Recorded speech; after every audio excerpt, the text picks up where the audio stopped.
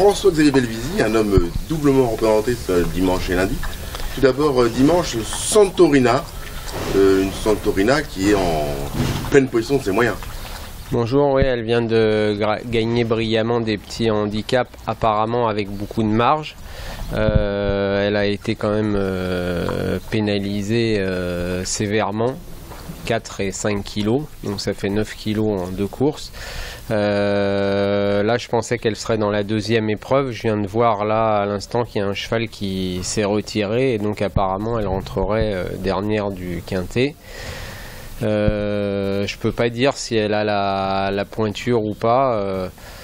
La seule personne qui, a porté un jugement, c'est Alexis, euh, son jockey, Alexis Badel, euh, qui m'a dit l'autre jour que de la manière dont elle gagnait, elle devrait avoir son mot à dire dans, des quintés. Donc là, euh, elle franchit une marche avec des ambitions. Ouais, voilà. bah, on va essayer de la monter comme d'habitude. Hein. Sa tactique, c'est d'aller devant et puis de les dernières fois, quand elle a démarré, euh, il n'y a pas eu beaucoup de monde pour la suivre. Alors, euh, bon, bah, on verra là s'il y a plus de chevaux pour l'attaquer.